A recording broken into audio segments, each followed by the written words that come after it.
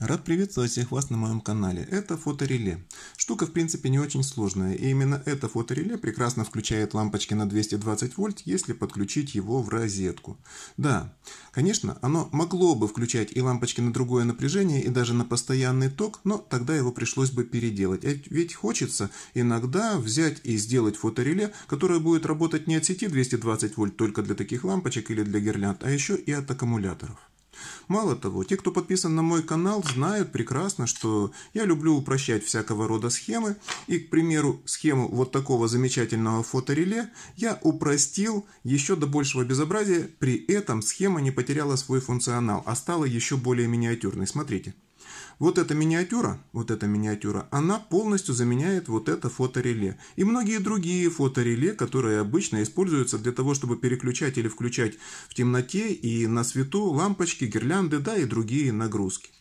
Но оно-то все хорошо, но схема эта электронная, а тот, кто с электроникой не очень знаком, если с электроникой не очень знаком, то и такую вот простую схему собрать будет трудно. И сегодня я решил, я решил вам показать, как сделать универсальное фотореле, которое, во-первых, будет независимым, то есть его работа будет абсолютно не зависеть от того, есть у нас нагрузка, нет у нас нагрузки, есть аккумулятор для нагрузки, есть у нас розетка для нагрузки, и будет это реле включать и выключать лампочки как на 12 вольт, так и на 220 вольт с одинаковым успехом. Если вы думаете, что э, сделать это будет сложно, уверяю вас, это не так. Смотрите ролик до конца, все поймете и сами увидите. Еще разок скажу, что обычное фотореле, оно работает в сети 220 вольт переменного тока и просто так напрямую с помощью такого реле коммутировать аккумуляторы и аккумуляторные лампочки невозможно. А мы сделаем так, что все в этой жизни будет возможно. Я не просто так вам показал именно вот такое фотореле с вот таким достаточно большим корпусом, хотя оно, именно это реле, одно из самых миниатюрных, ну исключая те, которые могут делать подписчики моего канала то, что я научил. И, в общем, поверхность этого фотореле может быть полезно использована. Для чего? Поймете чуть позже. А пока, пока давайте посмотрим, э, посмотрим, что, в принципе, заставляет работать фотореле. Это какой-нибудь фотодатчик. К примеру, в моем фотореле, вот таком вот миниатюрном, это фоторезистор.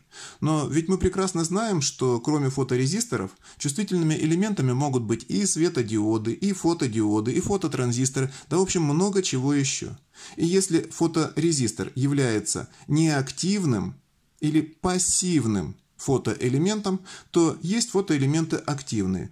К таким фотоактивным элементам относятся обыкновенные световые панели. Да, ребята, светодиодные, а точнее фотодиодные панели вот они, они очень даже маленькие, прекрасно работают в качестве, во-первых, в качестве фотодатчика, и это многие прекрасно знают, есть такие садовые фонари, в которых вместо фоторезистора используется именно свойство вот такой фотопанели. И кроме того, это же на самом деле солнечная панель, солнечная батарея, которая на свету вырабатывает электричество, и вы видите, прекрасно засвечивает небольшой светодиод. Да, Фотодиоды, будучи освещенными, вырабатывают ток, который засвечивает, заставляет светиться небольшой светодиод. Но вы скажете, этой энергии очень мало, и она не годится для того, чтобы переключать какие-нибудь серьезные реле или серьезное устройство. Я готов вас удивить. Совсем недавно я показывал ролик, в котором показал реле, а это есть не что иное, как герконовое реле, ток удержания которого меньше, чем 2 мА, а рабочий ток примерно 5-6 мА. 5-6 мА выжать из вот такой вот солнечной панельки всегда можно. И являясь фотоэлементом, эта солнечная панелька на свету переключит это реле в нужное нам положение. Ну, буквально как триггер, день-ночь. А то, что ток вот этой вот маленькой микросхемы достаточно велик, это я вам гарантирую, можете почитать даташиты. Ток который коммутирует данная маленькая микросхемка герконовая 1 ампер, а постоянное напряжение достигает 200 вольт. Нехилая такая штучка. Но если, к примеру, с вот такими фотопанелями многие из вас сталкиваются, их можно выдрать из старого садового фонаря, то найти вот такую микросхему реле – это уже штучка уникальная. И, конечно, я бы сделал самоделку на ней, но я же решил Помочь вам, ребята, так сказать, поможем нашим кочегарам, которые в электронике не шарят, но хотят делать практичные и полезные самоделки. Поэтому от такого суперреле я просто откажусь, а возьму более распространенное автомобильное. Да, ребята, это самое настоящее автомобильное реле, Никакое не фотореле. Вот внутри у него есть катушки, якоря, язычки, контакты. Все хорошо. И на базе этого реле мы сделаем самоделку, которая вас действительно удивит. Точнее, те, кто с руками и с головой, их она не очень удивит. Хотя, наверное, может и удивит, это я в комментариях узнаю. А вот некоторые будут очень сильно возмущаться. Ну, мы их возмущения почитаем в тех же самых комментариях. Как вы понимаете, контактам этого реле абсолютно по барабану или по соленоиду то, что замыкать. Будь то ток от аккумулятора и напряжение от аккумулятора, будь то ток от розетки, лампочка 220 вольт, 12 вольт, 5 вольт. Это обыкновенный управляемый выключатель. И включать и выключать он может все, что угодно. Хотите лампочки, хотите утюги, хотите розетки, хотите салфетки, хотите конфетки. Ой, что-то я заговорился, ну извините. Короче, тут две железные пластины, которые смыкаются и размыкаются и проводят ток, какой бы он ни был. Но тут возникает вопрос, и он вполне закономерен. А как вот такой вот фотопанелькой, вот таким реле брать и управлять? Неужели нам придется какую-нибудь схему мудрую строить? Нет, я пообещал, мы обойдемся без электроники. Я просто возьму и наглым образом, как это я люблю, вот такую солнечную панельку с помощью моего паяльничка припаяю к вот этому реле. Смотрите. Чуть не забыл волшебные слова. Чики-брики надо сказать. Положим паяльник сюда и спаяем схему. Нет, давайте все-таки подробно. Один из проводочков, который пойдет на катушку реле, мы припаяем к плюсу солнечной панели. Второй проводочек очень аккуратненько мы припаяем к минусу. Вот мы припаяли два белых проводочка. Теперь крупным планом и очень горячим паяльничком я оставлю две капельки олова с канифолью на вот этих вот пластинках и припаяю к ним проводки, которые идут на солнечную панель. Все, вот на этом, в принципе, вся наша пайка закончена. Давайте еще раз взглянем на это чудо. Автомобильное реле без корпуса специально. Ну, для желающих, конечно, могу и корпус одеть на него на место. Ножки я выгнал, чтобы оно у меня красиво стояло. Я люблю, когда красиво стоит. Далее, солнечная панелька, она приделана как раз к той группе контактов, обратите на них внимание, что идут на тот самый соленоид, электромагнитную катушку, дроссель или же обмотку электромагнита. Всеми этими словами можно баловаться и можно называть все то, что составляет вот та куча проволоки, намотанной на сердечник.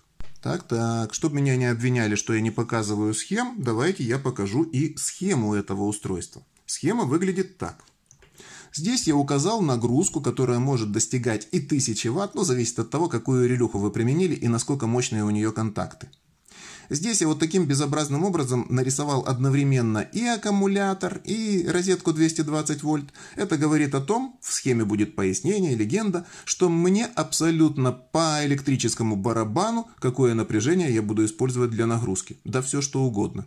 Реле играет роль выключателя, поэтому Нагрузки и батарейки все равно, что включается, что выключается. На этом исполнительная часть схемы заканчивается. Вот таким штрих-пунктиром обычно в старых схемах, не знаю как в новых, показывается магнитная связь между замыкающей пластиной для этих контактов и электромагнитом, который находится в коробочке реле. Электромагнит коробочки реле мы уже видели, он такой красивенький, он состоит из множества проволочек, и у него есть контактики. Видите, вот такое ухо торчит напротив обмотки с одной стороны, и такое же ушко с проводочком с другой стороны. Это электромагнит. К нему, по всем правилам фэншуйной схемотехники, мы подключили фотодиоды, которые составляют солнечную панель. Да, любая солнечная панель, световая панель, световая батарея, солнечная батарея состоит из множества полупроводниковых именно диодов. И при их освещении, а их там много на этой панельке, вырабатывается небольшой электрический ток. Этот ток течет по вот этому контуру электромагнитному и вызывает магнитное поле. И это магнитное поле либо притягивает, либо отталкивает, зависит от того, какую группу контактов в реле вы используете. Вот этот замыкатель-размыкатель. Все. Схема настолько банальна и проста, что тут можно было бы удивиться или просто заплакать. Но схема схемой, то, что я спаял, то, что я спаял. А давайте мы ее испытаем. Давайте испытаем. Конечно, было бы здорово, если бы я подключил батареечку, светодиодик и включал и выключал все это дело, затеняя рукой вот эту вот солнечную панельку. Можно было, конечно, использовать и лампочку на 220 вольт, но я уже так нахватался хейтов из-за того, что я показываю небезопасные фокусы-покусы, что больше я этого делать не хочу. Я вам постараюсь абсолютно научным способом доказать, что вот эти два контакта, за которые я сейчас держу с оголенными руками, будут замыкаться и размыкаться. Они будут замыкаться и размыкаться, когда вот эта вот пластиночка, на которую я сейчас давлю пальцем, будет прижиматься и отжиматься к внутреннему контакту. Прижиматься она будет в том случае, если по этой проволоке пойдет достаточный ток. Откуда он пойдет? От солнечной панельки. Ни розеток, ни батареек, ни каких-нибудь дополнительных питающих схем для моего фотореле совсем не надо. И, как я сказал, все у нас будет по-научному и безопасно. Абсолютно безопасный метод проверки замыкания и размыкания контактов. Показываю. Если включить этот прибор на режим прозвонки короткого замыкания КЗ между контактами, мы можем услышать вот такой красивый писклявый звук и даже увидеть, как, как чиселки меняются в случае, если есть контакт. Подключим эти штучки вот сюда. Это крокодильчики, я их так называю, но хотя они могут называться как-нибудь и по-научному. Сейчас реле разомкнуло эти контакты и все хорошо. Но если мы нажмем вот сюда, мы услышим этот писк. Но это я сделал пальцем. А мне бы хотелось, чтобы это сделала солнечная панель. Ну вот, все разложено как положено. Допустили солнце.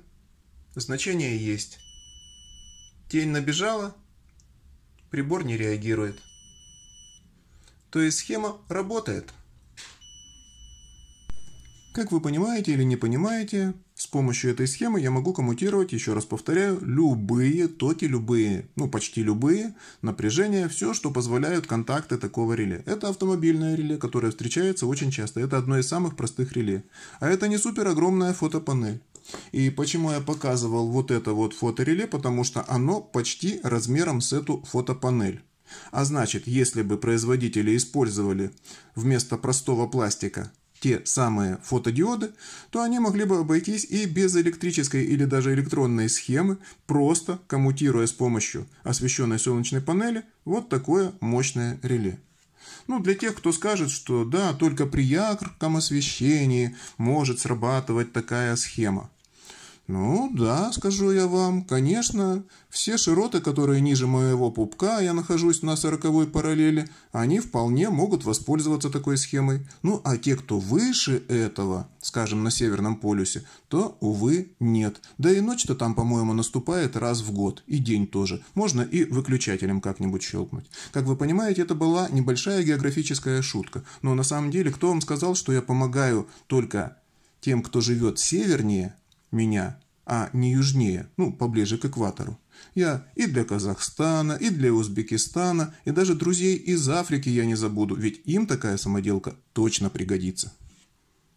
Ну а уж если вы действительно захотите сделать что-то более мелкое и миниатюрное и поразбираться в электронике, то, ну, ради бога, сделайте вот нечто подобное. Тем более, что я и секретов-то не таю, а вот эта вот кроха – прекрасно заменяет фотореле, которые выпускаются и продаются. Ну а на этом все пока. С таким фотореле справится даже ребенок детсадовской дошкольной группы. С вами был Дима с Дальнего Востока, с города Владивостока.